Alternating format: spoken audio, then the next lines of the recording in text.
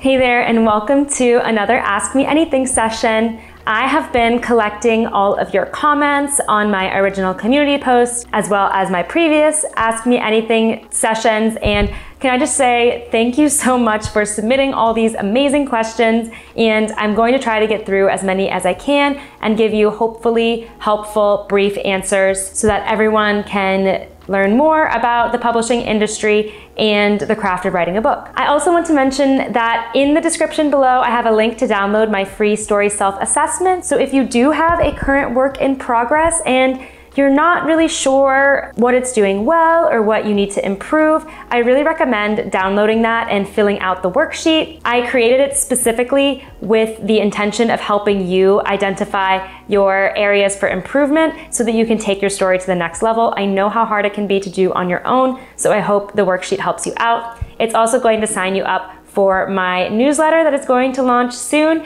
with exclusive tips and resources. So now let's dive into some more questions. Stephen King has talked about his writing practices publicly and how he is able to get many books out onto the market. Are there any ways you have seen that are helpful to increase your writing output? It doesn't matter what step of the process. This is a great question. Two things come to mind immediately. Number one is setting up writing sprints so I know that many writers find this method really, really helpful. There's also a community aspect to it and an accountability aspect. So I know there's many author tubers who do it on YouTube Live. They set up sessions and say, you know, we're going to write for an hour, two hours, or, or, whatever it's going to be, and you're all doing it together. It seems that that is a way that many people are able to find that focus and able to carve out that time to write. But another way if that doesn't quite work for your process, I think is just to hold yourself accountable and bake it into your schedule, whatever that looks like. I know writing is probably extremely tough to fit into a day that is already jam packed with other responsibilities but maybe it takes putting a notice on your calendar, you know, from 7 a.m. to 8 a.m. if you're a morning person, or 9 p.m. to 10 p.m. if you're a night person,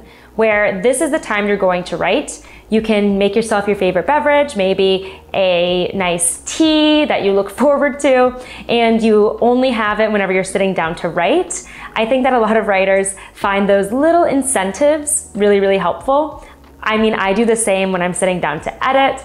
So that could be a method that I've seen people, particularly on BookTok and AuthorTube using a lot. Okay, next question is, do you need to copyright your manuscript before sending it to beta readers? I would say no. I understand where a lot of concern about copyrighting comes from, but it is not really standard to certify officially any copyright before you're actually at the point of publication, whether that is traditional publishing or self-publishing or hybrid publishing. I know it can be really nerve wracking to send your work to someone and you don't want them to steal it, of course. I know writers have the same anxiety when it comes to sending your manuscript to literary agents.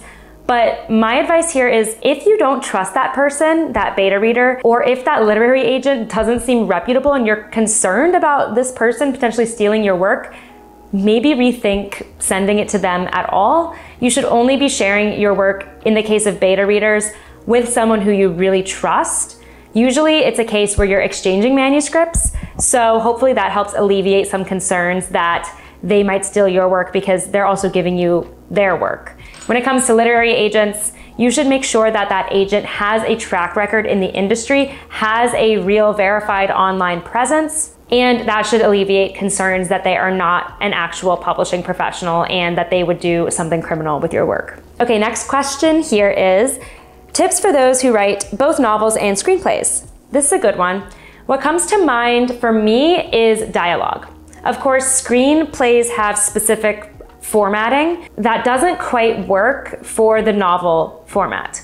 For instance, if you think technically about dialogue tags versus just having the name of the character and what they say. You wanna make sure that your dialogue in a novel doesn't feel stilted or overwhelming. And the way to do that is to break up your dialogue exchanges with dialogue tags, which are necessary for us to track who is saying what, as well as potentially internal thoughts if you are writing in first person or close third person, or actions by the characters. So, you know, during a conversation, they stand up and they do something or you know they hear something that helps us picture the surrounding scene that can sometimes i think be lost with writers who are focused on screenplays where you don't have to focus on painting the room for the reader in the way that you have to focus on in a novel. Okay, next one is what exactly do ghostwriters do and why would you have one? You typically hire a ghostwriter if you want to write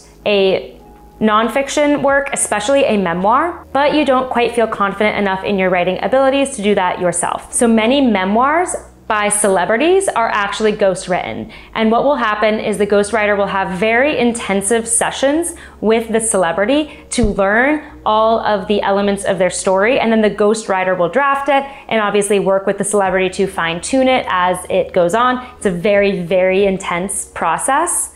But basically, the ghostwriter is taking on the role of actually putting pen to page and crafting the story word by word, while the person who hired the ghostwriter is giving them the overarching narrative, the anecdotes they want to include, and things like that.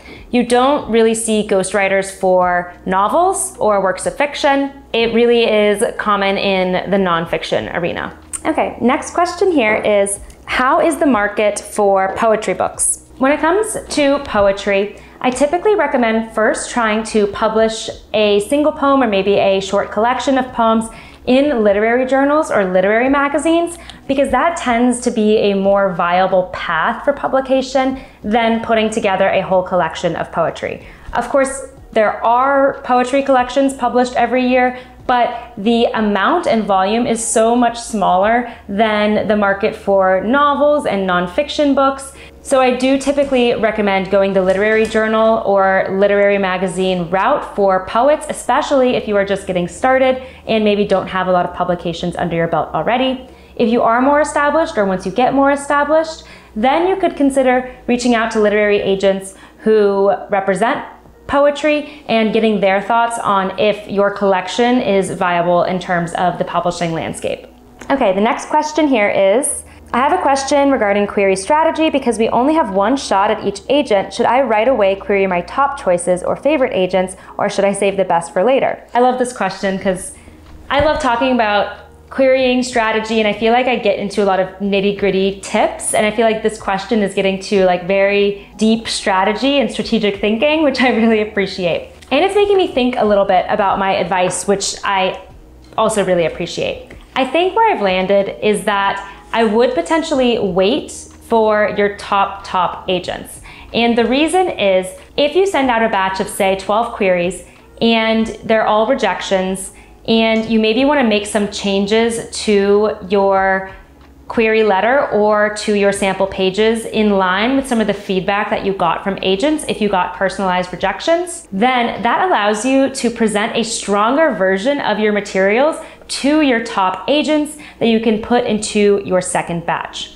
Also, what if the flip side happens and you receive a request to send the full manuscript to one of the agents in your first batch then you can kind of take that as a sign that maybe you do have something that agents are interested in here. And then you can go ahead and query the dream agents on your list and see if they respond positively as well. So I don't really see any downside to waiting until batch two or three for your dream agents. Okay, the last question here is one about my dog. Um, what an awesome dog, thank you. And golden doodle question mark, yes. He is a golden doodle, 75% poodle and 25% golden retriever. Thank you for noticing. Thanks so much for watching this Ask Me Anything session. Continue to leave me questions in the comments and I will be sure to cycle through them as many as I can. And as I referenced, go ahead and hit that link in the description to download my free story self-assessment. And as always, please hit that like button and subscribe if you haven't already. It helps me know that you're finding my content useful and allows me to continue growing this amazing community. Thanks so much for watching and happy writing.